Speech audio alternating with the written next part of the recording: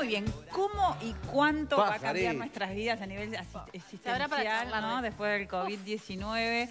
Para que nos cuente, nos responda a estas preguntas y mucho más, recibimos al profesor de filosofía Miguel Pastorino. Es un placer que estés aquí Bienvenido, con Miguel. nosotros. Buenos días, un placer estar con ustedes. Bueno, ya tuvimos un- una, Sí. una previa Una previa. interesante, ¿no? Tenemos toda la tanda ahí charlando, sacando la Pero ¿cómo, información. ¿Cómo cae la filosofía en este momento de pandemia? Bueno, en la historia de la filosofía siempre es, más que tener respuestas, es provocar preguntas. ¿no? Y yo creo que, como dicen algunos filósofos, en realidad existe la filosofía académica a la que uno nos dedicamos, pero todos en nuestra vida tenemos momentos en que hacemos filosofía, en que nos volvemos filósofos. ¿Cuándo? Y Jasper, que era un gran filósofo del siglo XX, decía que uno de los momentos es en, en las situaciones límite.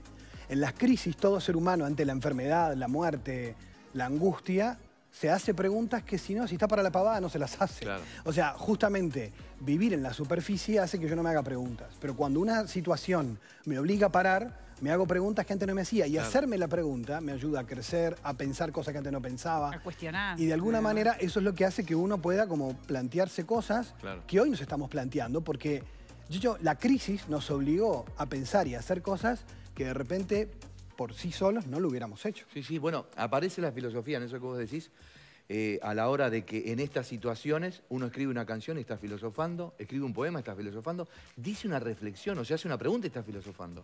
Claro, porque en realidad eso existe, porque a veces hay una cosa así como que la filosofía es una cosa para eruditos. Hay una filosofía académica, rigurosa, pero en realidad... Pero todos somos filósofos de alguna Algunos forma. dicen los mejores filósofos son los niños, porque son los que se preguntan todo, ¿no? Y que, no, y que tienen esa curiosidad de preguntarse ¿Es cosas. simplemente eso, si tenemos que definirlo, preguntarnos, cuestionarnos todo. Bueno, es que justamente eh, hay cosas que nos parecen obvias y la filosofía lo que hace es poner arriba de la mesa cosas que parecen obvias. Les voy a decir un caso. Yo ahora con el tema de la pandemia, cuando arrancó la cuarentena, yo me enfermé de mononucleosis. O sea, no me agarré COVID, pero me agarró la mononucleosis. Sí, Y, ta, y estaba encerrado, cuidándome y viendo la televisión. Veía cómo a veces, que me parece bien, algunos psicólogos dando consejos de cómo convivir en casa, con la pareja, el tema de los hijos. Y vos decís, genial que la gente haga esto, pero me revela una pobreza en la que estábamos viviendo, de que si alguien tiene que darle tips para vincularse con intimidad con la persona que convivís, es porque estabas en la luna. Claro. O sea, si ahora Desconectados totalmente. estabas desconectado, ¿qué, qué, qué nos pasó? O sea, de alguna manera, eh, la situación me hace preguntarme cosas que antes no me preguntaba. Pero es cuestionarnos a nosotros mismos o es cuestionar también lo que hacen Todo, los demás. porque en realidad cuando vos te empezás a cuestionar, empezás a mirar la realidad haciendo otras, pre- otras preguntas. Y hay veces que queremos respuestas para todo. De hecho, creo que uno de los grandes golpes de esta crisis ha sido de que estábamos acostumbrados a que todos eran futurólogos. ¿no? Todos te dicen qué va a pasar después. Y lo que tuvimos que aceptar es que nadie lo sabe. ¿Por qué? Porque depende de las decisiones humanas. Los uruguayos hemos dado un ejemplo de que podíamos hacer las cosas bien y se han hecho las cosas bastante bien. Pero a mí una vez me preguntaron, Miguel, ¿qué va a pasar después de esto? No sé, depende de lo que hagamos los seres humanos. Claro. Porque hay un tema que es la libertad humana y que no se puede predecir con estadísticas, no se puede predecir con Big Data. Todo bien, podemos llegar hasta cierto nivel de, pre- de poder predecir algunas cosas, pasa con las elecciones. Pero ¿qué pasa cuando a vos alguien te avisa, mirá que no lo podés saber todo? O sea, estamos demasiado acostumbrados a la omnipotencia. Un escritor español, Pérez Reverte, muy conocido, en los días de la, de la cuarentena con la crisis española, se escribió una columna breve que se llama Acuérdate que eres mortal, escribió un domingo, y él dice, yo a todos mis amigos empresarios que les iba bien, les regalo una bolita de cristal con el Titanic adentro, para recordarle que en cualquier momento todo se puede venir abajo. Esa es la vida humana. ¿Te Claro. habías olvidado? O sea, ¿nos parece anormal la enfermedad y la muerte? ¿Nos parece anormal la fragilidad? Entonces, cuando nos parece anormal... Creo que lo que pasa es que nos comimos el cuento de la, que somos omnipotentes, ¿no? Claro, y él lo que y dice que es, a mí no me va a pasar nunca. pensamos que la muerte es de los demás. Esa- por No de los que están cerca, pero si a todos nos va a pasar y a todos les pasa. En Uruguay todos los días se muere gente. Pero ahora y lo- no por coronavirus, ¿no? Pero lo que cambió ahora no es también que la responsabilidad nuestra de otra vida, o sea, nuestra accionar también puede condicionar la vida del otro. Por supuesto. Y acá viene y otro los tema hábitos. que es súper interesante, que es el tema ético. Ahora todo el mundo está hablando de ética mucho más en la política. ¿Por qué? Porque cuando vos tenés un enemigo común, la polarización social, no sé si notaron, disminuye. Aunque sigue existiendo, disminuye. ¿Por qué? Porque cuando hay un enemigo Igual hay común- mucho juzgamiento, ¿no? De cómo Sí. se actúa, de quién se junta con quién, de Claro, quién hace... eso siempre sigue existiendo, pero yo creo que disminuye porque cuando tenés, sigue estando, pero cuando hay un drama común, cuando el destino común de todos es el que se juega, nos tenemos que volver más responsables Porque lo que le pasa al otro me va a perjudicar a mí. Ya no puedo ser individualista y decir Claro. que se maneje. Claro. Es su Claro. problema. Miguel, no. ¿vos no. crees que a partir de ahora va a cambiar esto, esto que vos decís en este momento que suena de total sentido común, ¿no? De que como antes no estaba pasando, como antes no, no estábamos siendo tan conscientes de quién tenemos al lado, de si cruzamos palabras, si nos conocemos o si sabemos que está bien. Esto ahora se va a mantener, va a perdurar, vamos a cambiar. Bueno, te respondo con lo que decía antes. En realidad depende de cada uno de nosotros. Yo creo que habrá gente que aprenderá mucho. Yo creo que hay aprendizajes de los que no se vuelve. Por ejemplo, me pasa a mí como docente ahora la incorporación de la tecnología, que ya la usábamos. Ahora hay cosas de teletrabajo, hay cosas de las que ya no se va a volver, me parece. Eh, hay aprendizajes obligatorios, los cuidados de higiene, hay aprendizajes positivos obligatorios. Hay otros que son más de nuestra propia condición humana que me parece que van a depender de cada persona. Hay gente que me ha dicho, yo tuve que dejar dos trabajos, o sea, no los tuve que dejar, en realidad los perdí, y minimicé mis ingresos porque la situación me obligó, no porque yo lo elegí. Y ahora disfruto más de mis hijos, una, una chica de mi esposo, y la verdad que podemos vivir con esto. Claro. Sí. Y yo antes no estaba viviendo. Sí, y hasta de repente este, consumo menos cosas. Y soy, y estoy, y más, y estoy Y más feliz. lugar, claro. Porque siempre lo que me hace más feliz es la persona con la que vivo, por la que yo digo que amo. Y si me paso la vida laburando todo el día y cuando los veo me voy a dormir o miro la tele dos minutos, en realidad no estoy viviendo. Y mucha gente se está haciendo ese tipo de preguntas de su nivel de consumo, de su nivel de vida. Ojo, hay gente que tiene que laburar todo eso para poder comer, eso es otro dilema, sí, sí, ¿no? sí. Es Pero hablando de gente que sí puede hacer recortes, todo esto le generó cambios en la alimentación, comer más sano, casero, en casa. O sea, muchísimas cosas. Claro, esto genera crisis en la industria gastronómica. O sea, hay Sí, sí, muchos empieza el cambios, dominó. ¿no? Que uno no puede verlos todos. Yo no creo que nadie los pueda ver todos. Pero sí puede mirar lo personal.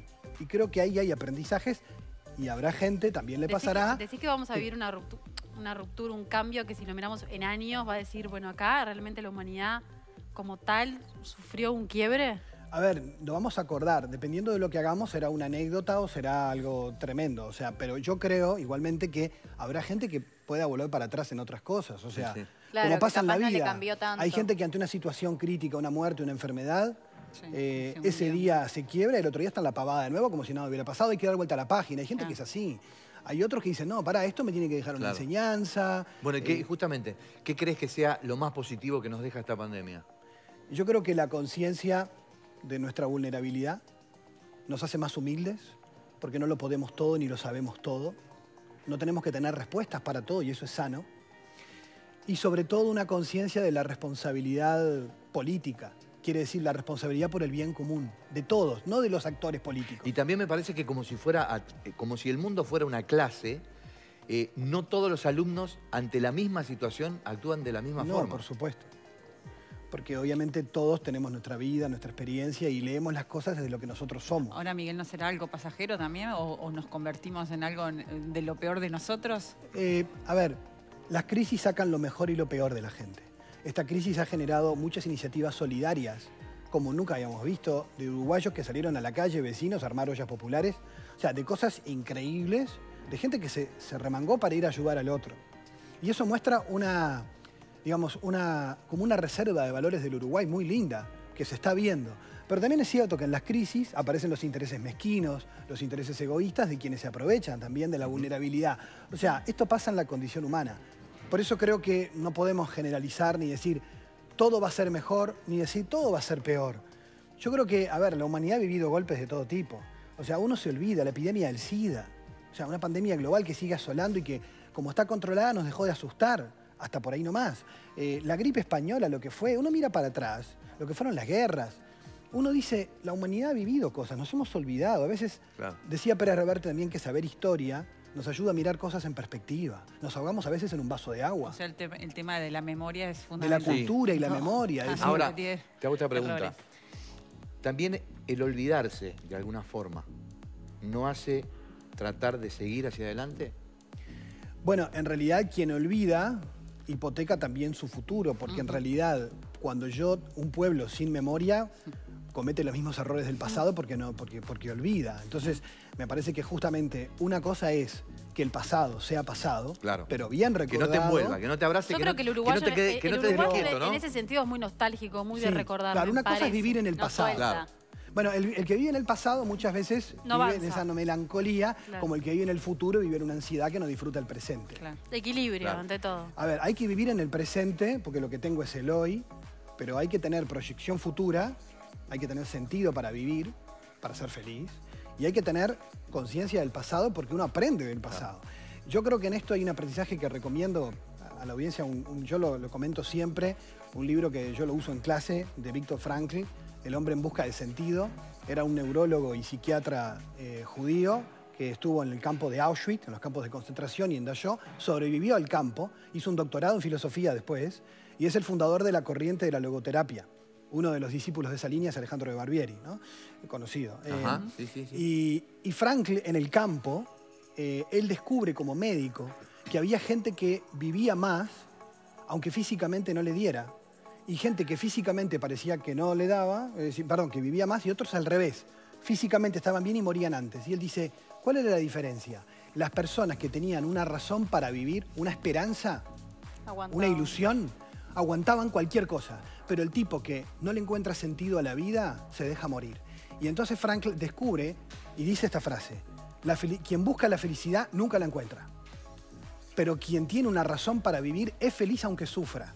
Claro. Porque tiene un sentido por el que vivir. ¿Y el sentido qué te lo da? Lo que amás, las personas que te aman y que amás, una vocación a la que vos te entregás con amor y pasión, o un sentido de trascendencia, la vida espiritual para cualquier religión es una fuente de sentido. Y él dice, estas fuentes de sentido hacen que las personas sean capaces de orientar su vida, porque si no hay un sentido por el que vivir, cualquier cosita es el fin del mundo. Claro. Entonces, cuando vos tenés un sentido por el que vivir, tu horizonte se ensancha, porque sabés que hay muchas cosas en la vida que valen la pena, independientemente de lo que te toque vivir, y uno lo sabe, la gente que a veces hace sacrificios enormes por amor a sus hijos, decís, ¿y por qué se desloma tanto? Porque ese amor que tiene le da sentido a su vida, y eso vale muchísimo. Y de repente alguien que trabaja y no le encuentra sentido a lo que hace, se deprime mientras trabaja, porque su trabajo no tiene sentido. Entonces, más que lo que me toca vivir, dice Frankl, lo que hace la diferencia y lo que va a hacer la diferencia es qué actitud tengo yo ante lo que me toca vivir, no importa lo que sea. Lo que hace la diferencia es cómo yo lo quiero vivir. ¿Quiero vivir esta crisis como una oportunidad para crecer? ¿O quiero ahogarme Claro. en lo que me toca ahora? O sea, y eso lo decido yo. Por eso es difícil de predecir, ¿no? Ayuda el escribir, el estar presente con uno mismo, tener un momento en el que conectar, no sé, filosofar Sí. en casa, cada uno a su manera. estudios de neurobiología actual recomiendan que son, para la salud del cerebro hay que tener dos horas diarias de silencio absoluto. Y nosotros vivimos... Silencio absoluto, Absoluto. dos horas y diarias. nosotros Wow. seguimos fugándonos todo el tiempo en las redes y en el ruido. Consciente, o sea, de Sí. silencio, de ahora voy a tener Y no dos estamos horas de hablando cuando estamos durmiendo. No. Eh, a ver, la buena lectura, la buena lectura y el silencio permiten que uno se conecte más con uno mismo. Y que uno esté más en comunión con uno mismo hace que vos te conozcas más. Si vos te conoces más, sos capaz de tener relaciones más profundas con las personas y de expresar tus sentimientos y de saber incluso interpretar los sentimientos de los otros. Cuando vos vivís en la superficie todo el tiempo, todo te puede irritar, nunca entendés a los demás, no tenés empatía, porque si no te escuchás a vos, menos vas a prestar atención a lo que le pasa Tal al otro. cual. Entonces, la falta de tiempo para uno mismo redunda en problemas en los vínculos con los demás también, ¿no? Eh, y eso también en el tiempo que dedicamos a los demás. Cuando llegas a tu casa, si tenés poco tiempo, eh, un medio de comunicación prendido en un momento que tenés de intimidad hace que la conversación sea más frívola. Hablas pavadas, hablas del tiempo. Si está el todo en silencio, salen otros temas. El silencio abre espacio. Es, es- es- es impresionante porque puede el ser silencio... no te- incómodo, pero es... Claro. es incómodo. Fíjate en una reunión, todo el mundo está paveando, hay silencio de golpe y alguien hace un chiste para salir, por favor. ¿No? Es como que ¿Por me qué nos ahoga. enseñaron que el silencio puede ser incómodo? Yo creo que ¿O no es que nos lo enseñaron, creo que en el fondo hay algo humano de una ambigüedad en el silencio, que por un lado nos seduce, la gente le encanta ir a meditar, irse de retiro, pero no mucho rato, Sí, solo para reposar. Eh, y a su vez, cuando tiene silencio, busca taparlo con algo. Yo creo que, que eso es porque el silencio también pone en evidencia cosas que a veces no queremos escuchar, vacíos, eh, sentimientos que estamos Incomodidades. tapando, incomodidades. Pero yo creo que un equilibrio, ¿no? Hay gente, monjes, que se dedican la vida en silencio, eso no es para todos. Pero creo que un poquito de silencio, un poquito de tranquilidad todos los días ayuda a reposar la mente.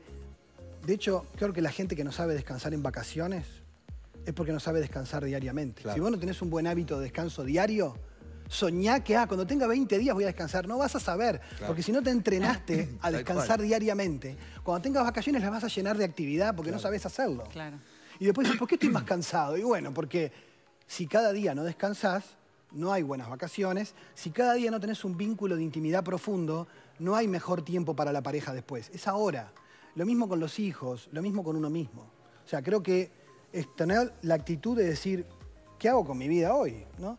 Y creo que a veces la cuarentena podemos aprovecharla positivamente en algunas cosas. Claro. Miguel, recién fuera de cámara hablábamos de, de, de alguna de las frases de diferentes fi- filósofos de hace mil años que son aplicables eh, a- al, a la- al- al día de hoy, ¿no? El hombre, pese a toda evolución o no, o rodeado de más tecnología, además, ¿se comporta de la misma manera que hace mil años atrás? O sea, ¿cómo una frase de un filósofo se, se aplica ahora? En algunas cosas sí. De hecho, mira, si hoy lees eh, la ética minicómaco de Aristóteles, el tratado sobre la amistad, no se ha escrito nada mejor hasta el día de hoy. O sea, todo lo que dicen es repetir lo que dijo él. Eh, hay reflexiones de un nivel de profundidad humana del amor en Platón que hasta el día de hoy son vigentes. Porque la ciencia, un libro de ciencia de hace 20 años atrás ya no sirve. Porque están sacando papers Claro. todas las semanas de cosas nuevas. Pero en cambio en la filosofía, lo viejo no es viejo, es siempre actual. Porque en realidad son reflexiones sobre los temas humanos que son, son siempre vigentes para nosotros. Claro. Y Eh, que muchos se repiten. Claro, y que además encontramos mucho pensamiento y mucha sabiduría atrás y a veces lo olvidamos. ¿no? Eh, yo comentaba, comentábamos hoy fuera de aire, ¿no? que eh, me pareció muy gracioso ver que hay investigaciones que muestran que los mejores CEOs del mundo hoy, según la investigación de relaciones laborales, son personas empáticas que escuchan a sus empleados y que son agradecidos. O sea, resumen, buenas personas. Y vos decís, Aristóteles decía que un buen gobernante tiene que ser un hombre virtuoso. Es obvio que alguien que gobierna y dirige, si es buena gente, es mucho mejor. Es una cosa de sentido común. Claro. Pero parece que como lo sacó un paper ayer, es la novedad absoluta. Yo creo que a veces, eh, algo que también insistía mucho Hannah Arendt es, el peligro de cortar con la tradición nos hace mal. Cortar con nuestras raíces. La humanidad ha aprendido muchísimo. Si nosotros pensamos que lo importante es la novedad y olvidamos nuestras raíces, quedamos flotando. Entonces la historia, la filosofía, la literatura, las tradiciones espirituales de la humanidad tienen un cúmulo de sabiduría al que uno puede ir permanentemente porque es un tesoro de miles de años que nos pueden aportar muchísimo y a veces pensamos que como es viejo, ese criterio de que lo viejo Sí, no sí. sirve. Porque es un mundo que valora demasiado la, la innovación. Pero a veces es una palabra mágica que no encierra nada. ¿no? Porque a veces la innovación lo que trae son cosas viejas recicladas. Eh, entonces yo creo que es importante que vayamos a nuestros propios pozos de sabiduría, que tenemos mucho para, para vivir hoy. ¿no? Miguel, ¿algún libro que nos puedas recomendar a aquellos que de repente quieren introducirse en la filosofía? Recién y dijiste que... uno al pasar que está bueno Sí, repetirlo. para- yo creo que para tiempos duros y para tiempos buenos, el es un testimonio del campo de concentración, es duro. El hombre en busca de sentido, de Víctor Frankl, y está disponible, creo, en papel y en digital. Eh, y es un libro que ya tiene muchos años, eh, y cuenta una anécdota que él cuenta, que, para que les dé una, ima- una imagen. Él como psiquiatra, después de salir del campo, empezó a seguir atendiendo gente. Y un paciente era colega, era médico, viudo. Había perdido a su esposa recientemente y el tipo no paraba de llorar en las terapias y lloraba y lloraba y no había consuelo, no había terapia que lo ayudara. Y Frank, recordando la experiencia en el campo, le hace una pregunta. ¿Y si hubiera sido al revés? ¿Y si se hubiera muerto usted y no su esposa y ella viniera acá a terapia, usted cómo vería eso? Y dice que el tipo se puso peor, se puso a llorar más. Y dice, es que hubiera sido terrible, doctor. Dice, porque si ella hubiera quedado sola, ella era muy dependiente, hubiera sufrido más que yo, menos mal que se fue ella primero. Dice, porque yo puedo aguantar esta soledad. Pero ella, que era el amor de mi vida y que era tan vulnerable, no sé qué, él entendió y le encontró sentido a que, bueno, fue mejor que se fuera ella primero. Dice, ya no lloró más. Le seguía doliendo, seguía viviendo su ausencia, pero le encontró un sentido a esa muerte. Y entonces Frank dice, el dolor es inevitable, pero el sufrimiento depende de vos. O sea, el, dolor, si te toca, te toca. Pero cuánto sufras vos por, lo que- por el dolor, depende de cómo vos vivís ¿Cuánto eso. y ¿Cómo cuánto tiempo, eso? no? Porque hasta qué momento decir hasta acá. ¿Cuántas veces decimos, mirá lo que me hicieron, cómo me hacen sufrir? No, ¿Te lastimaron. Ahora, ¿cuánto sufras vos? Depende de vos. El lugar Depende que vos de- le del lugar claro. que vos le, le otorgues a eso. Es impresionante el poder que tenemos en nuestra libertad interior para decidir cuánto daño algo nos hace, ¿no? Tal cual. Así que El hombre en busca de sentido es un, un clásico ya. Genial. Miguel, un placer, la verdad, tenerte enorme, aquí en ¿eh? Bueno, gracias a ustedes. Gracias. Muchas gracias. eh. ¿Damos vuelta a la página? Mm, Sí, vamos a ver qué pasó en Huérfanos de ver, su dale. tierra. Dale.